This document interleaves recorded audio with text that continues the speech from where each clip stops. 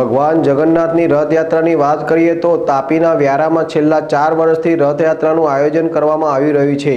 અનોખી વાત તો એ છે કે ભક્તોને આશીર્વાદ આપવા નગર ચર્ચાએ નીકળેલા ભગવાનની રથયાત્રા દલિત વિસ્તારમાં આવેલા રાધાકૃષ્ણ મંદિરમાંથી નીકળેલી આ રથયાત્રા નગરના તમામ સમાજના લોકો જોડાય છે.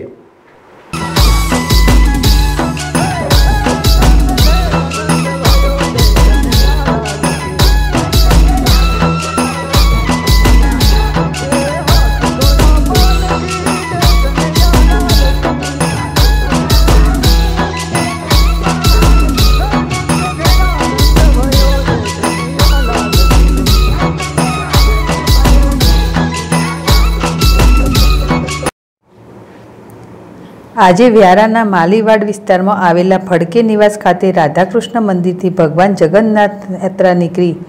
સુરતી બજાર સહિતના વિસ્તારમાં ફરીને સ્ટેશન રોડ પર આવેલા રાધાકૃષ્ણ મંદિરે સામયું કરવામાં આવ્યું હતું. ભગવાન જગન્નાથની રથયાત્રામાં ભક્તો જાય રણછોડ માખણચોરના નાદ સાથે નગરમાં ફરી હતી.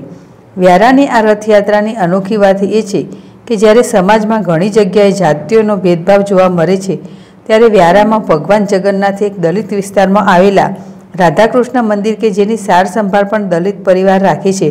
ત્યાંથી નીકળી સમગ્ર નગરમાં ફરી ભગવાનનું સામયું સ્ટેશન રોડ ખાતે આવેલા રાધાકૃષ્ણ મંદિરે કરવામાં આવે છે. આ રથયાત્રાને લઈને નગરમાં સામાજિક સમરસતાનો માહોલ જોવા મળી રહ્યો છે. હેમંત રાણા